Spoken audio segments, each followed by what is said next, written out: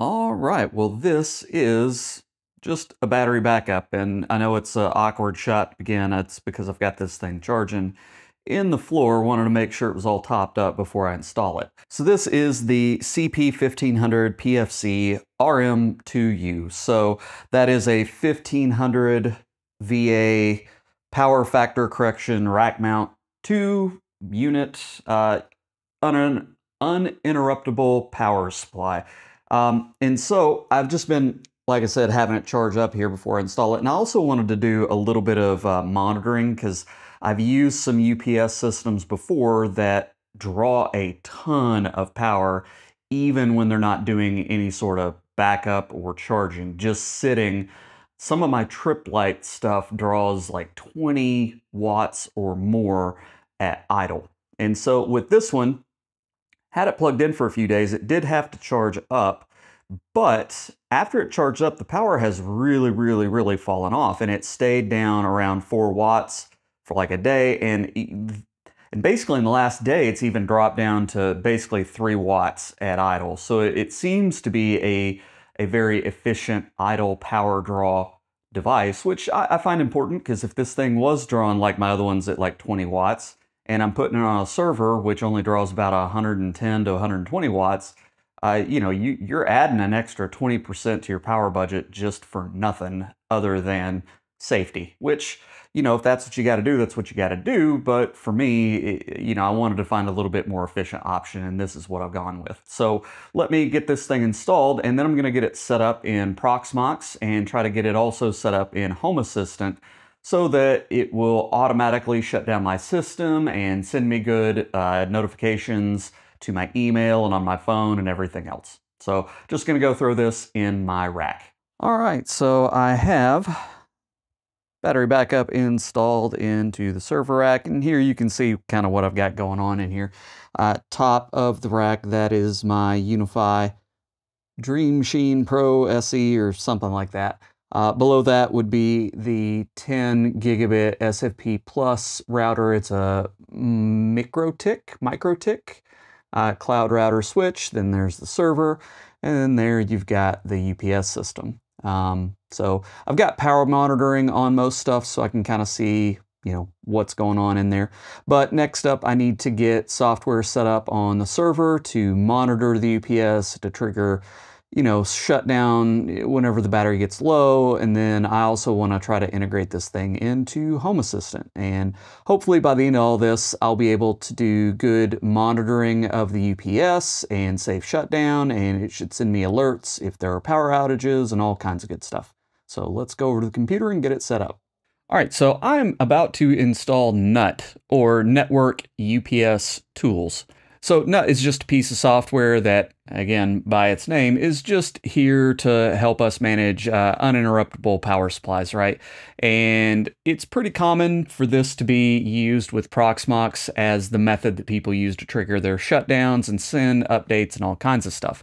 Now, I'm going to be following a tutorial from Kreaweb um, and so this is basically designed to give you a generic installation of NUT on Proxmox and you know get your UPS set up in a basic way. So the first thing we need to do is identify what USB port we've got our UPS on. If I do lsusb, and so here you can see the CyberPower system is on bus 1, device 8. All right, so there we go. Then we can see more about it by doing lsusb-v-s, and then it'll be uh, 1, 8, because I am on bus 1, device 8. And so that gives me details of the device. You can see the vendor CyberPower. There's the uh, product name uh, right there. I've got my serial, which I will block out so that you can't steal my stuff. All right, so next up, we're going to install NUT. So this is just a, a, regular piece of software that you should be able to find in the repository. So if I just do a uh, apt install NUT, there you go. All right, so NUT's installed. We're going to do a NUT scanner dash big U. Okay, and so there you go. It has found the CyberPower UPS. And again, I'm gonna have to block my serial out there. Next up in the tutorial is to set up the configuration. And nice thing, he's already got the commands here. So we're gonna back up the default configuration file to a different file and then edit with nano. So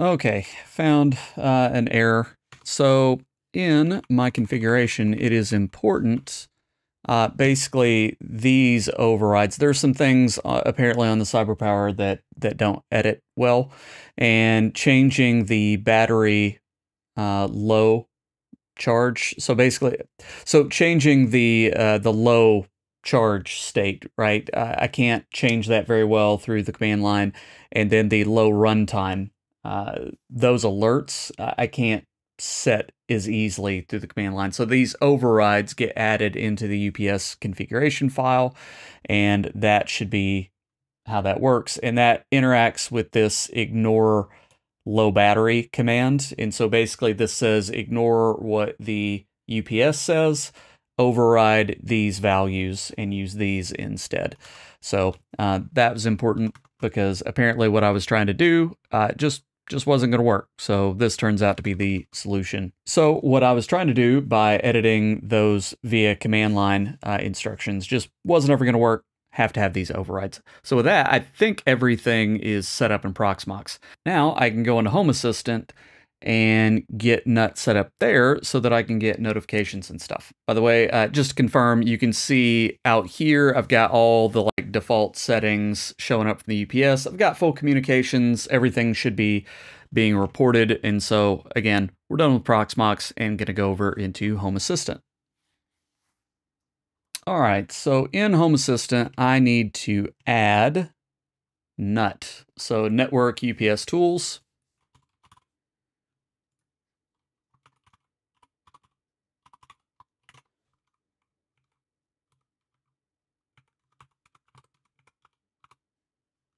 Okay, so I had to give it the IP address and I use the UPS admin login. There's my device name. Put this in the server closet, hit finish. And I now have my device. And you can see showing up in Home Assistant. Uh, this makes it really easy. Basically, there you go, gives me battery charge, input voltage, load, output, online, and then a bunch of disabled stuff that I believe I can enable this stuff. So if I click this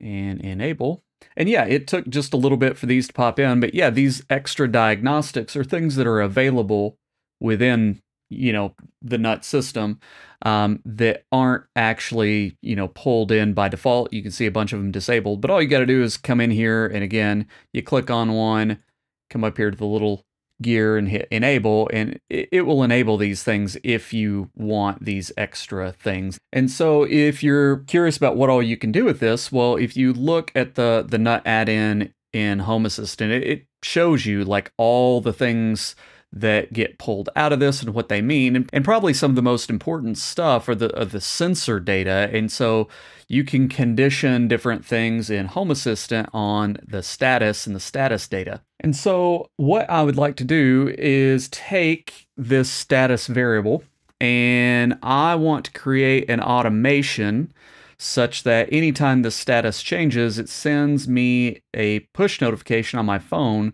that tells me the new status. And, and that should basically tell me, hey, if this thing goes offline, if it goes into alarm state, or anything like that, that's what I'm going to watch. All right, so I'm going to add an automation. Let's do so I've got my automation set up so that it's when the status changes. And so basically you don't have to enter anything here. You just say, hey, look at this entity for the status. And basically anytime that changes, it's going to trigger this automation. And then down at the bottom, I'm going to just push a notification to my mobile phone, which I've got a Pixel 9 Pro XL. And here's what I've got to do. The message is going to read this, right? UPS status change to, and then this is the code that's basically going to pull in whatever the new value And actually that needs to be cyber power. W, there we go, cyber power status. Right, so it's going to pull in the, the sensor status that updated, and that's what it should push to my phone.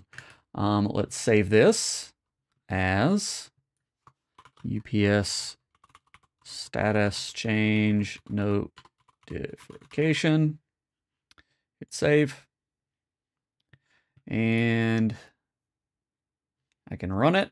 And yep, I got a notification from the Home Assistant app on my phone. And so now with that, I've got Nut set up on Proxmox. I have Nut pulling in that data to my Home Assistant. And now it will push a notification uh, to my phone. Now, this is all dependent on things staying up because if the UPS actually has a hard failure and I lose full power, uh, the server will also go down and the server is running Home Assistant. So this is not the most independent monitoring of the UPS because I'm having devices that the UPS powers notify me of the state of the UPS. But um, it, it's what I got, and I think it's going to be good enough for me. So that uh, that's going to be all there is to this video. It, it's pretty straightforward, just getting it set up in Proxmox took a little bit, but if you follow the tutorial that I talked about, it kind of walks you through it, and there's very minimal uh, changes that you have to have. Otherwise, it does the changes that you have to make are very dependent on what UPS you use. And since I was using CyberPower, I had to make a couple edits. If you're using an APC uh, brand UPS, I imagine you just follow that tutorial and there's nothing else you really have to do. Getting it set up in Home Assistant is dirt simple. There is nothing to do. You literally just, you know, get your IP, remember your login, and then it just automatically pulls this stuff in um, and then getting this little automation set up. Now I'll show you, uh, I do have some power data because I like to monitor power on all my stuff. Um, here you can see the server power power. uh, that's just a, a naming thing. Uh, this is the total server power that's running through the UPS and pulling from the wall. So this is like everything out of the wall. I'm currently pulling uh, 110 watts. Of that, 43 watts is the server itself. Uh, I've got 58 watts for my switch. And so uh, this also, by the way, is so high because it's also powering multiple PoE devices like uh, my security cameras and my Wi-Fi uh, access points. So it, it will get up to maybe 70 to 75 watts at night whenever all my cameras turn on uh, their uh, LEDs, basically the, the infrared stuff for the cameras, but uh, the whole thing basically maxes out about 115. The only thing that is not captured by either on the UDM or uh, my server is the switch, the the fiber switch. Um, that is caught in the server power, so that does catch everything. Anyway, uh, that just shows you, hey, yep, this is the total UPS load. I guess some, some weird stuff uh, there, let me show you today because I just got this thing plugged in. So I've had this thing plugged in since about noon, and you can see like right when I plugged, plugged it in, it, it pulled a little bit of power as everything kind of booted up and that ran some stuff. The UPS, uh, what I've found is that it does draw only about three watts at idle. And so you can see back here, I had the UPS plugged in for a while, like a whole day, before I actually plugged everything into it because I wanted to do a little bit of uh, power impact on the UPS. Again, I wanted to get a very low idle draw UPS system. And you can see it was pulling about 3 watts here. And then once plugged everything in, you know, it's up to, you know, 115. And then it, it dropped down a little bit after kind of everything starts to settle in. The power actually declines after a while um, just because uh, hard drives turn off. Um, the UPS kind of charges itself a little bit, and then once it settles in. So you can see I'm, I'm running, you know, 110 to 115 is kind of the idle power draw of the entire closet. So that's what I got going right now. Um, got the UPS set up, and I'm happy right now. So we'll see what happens next time the power blinks if everything works like expected. Uh, and I will, you know, try to remember to update maybe with a comment uh, if anything goes wrong. So if you got any questions, comments, feedback, as always, feel free to leave a comment down below. Thanks.